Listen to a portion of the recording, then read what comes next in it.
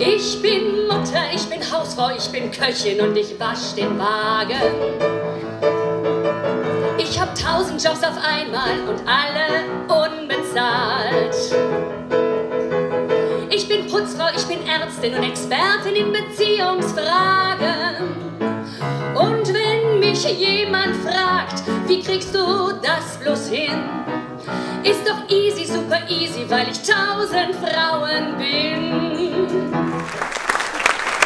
Als die Vertreterin der Business and Professional Women, die Initiatorinnen dieses Equal Pay Days in Deutschland, heiße ich Sie alle ganz herzlich willkommen, begrüße Sie ganz herzlich und freue mich, dass Sie so zahlreich unserer Einladung gefolgt sind.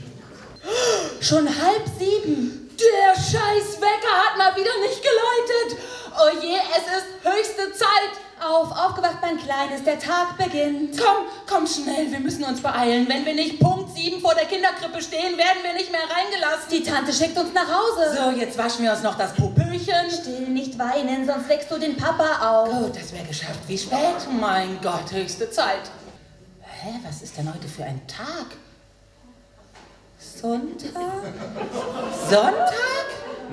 Wie ich mir gedacht habe, wie ich mich hier vorstelle, sind mir so Begriffe bekommen, wie ich bin die Hausherrin des Hauses. Das ist an sich ja schon sehr irritierend. Jetzt wäre die Möglichkeit gewesen, ich bin die Hausfrau des Hauses. Das geht gar nicht. Und ich weiß noch genau, wie wir 2007 gestartet sind.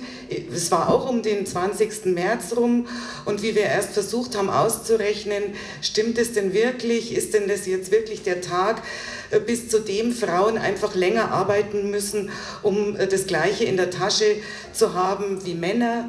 Sie haben ein Problem, Frau?